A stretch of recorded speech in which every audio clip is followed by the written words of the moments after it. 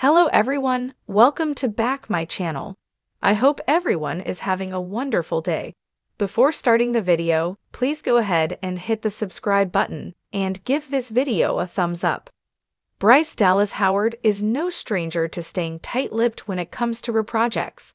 From starring roles in two twisty M. Night Shyamalan movies and the Jurassic World franchise to directing episodes of The Mandalorian, Howard's had practice protecting spoilers at all costs. Yet she'll ask you to believe her when she tells you that Taylor Swift did not write her new movie, Argylle, despite what some internet theorists believe. Howard dispelled the rumor during her January 30 visit to The Tonight Show starring Jimmy Fallon, giving Jimmy Fallon the full lowdown on Argylle, which debuts February 2. Helmed by the Kingsman franchise director Matthew Vaughn, Argylle is a comedic spy movie with an amazing cast. Playing Ellie Conway, Howard's co-stars include Henry Cavill, Sam Rockwell, Dua Lipa, Ariana DeBose, and Bryan Cranston. I play a spy novelist, and she's an introvert and a cat lover. That's actually important to know, Howard explains. And she has this character, Argylle Cavill, who's sort of like the idealized version of a spy. Thinking that she's an expert in all things espionage, she actually encounters a real spy. Howard continues, adding that he's played by killer dancer Sam Rockwell. Things get crazy for Howard's Conway and her cat from there. As a vocal Taylor Swift fan who's extremely online, Fallon had to ask Howard about a theory that's been floating on social media among passionate Taylor Swift fans. Is there any other kind? There's a rumor that Taylor Swift actually wrote this, Fallon told Howard, and I'll tell you why. Fallon broke down the Taylor Swift Argylle theory's origins, joking that this was heavily researched.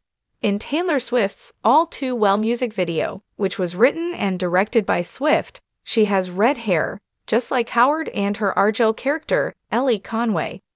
The short film is framed like a novel, told in chapters.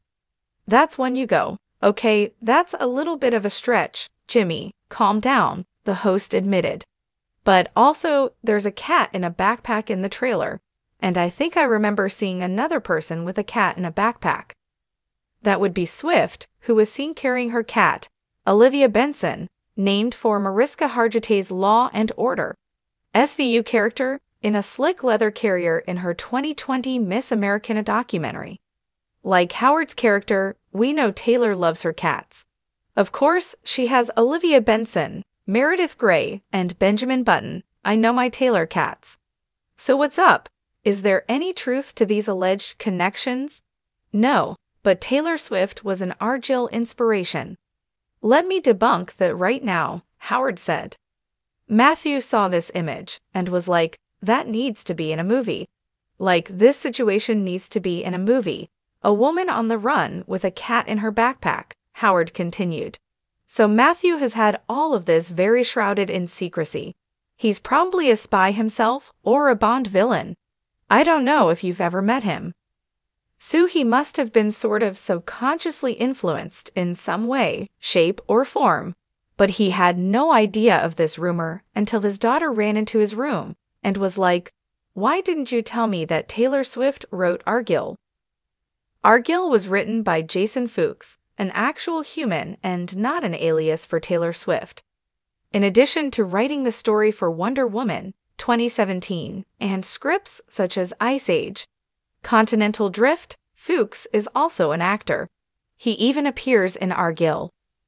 Watch Howard explain that there's a few other Swift Easter eggs, if you choose to see them, at least, in the interview above, and watch Argylle in theaters February 2.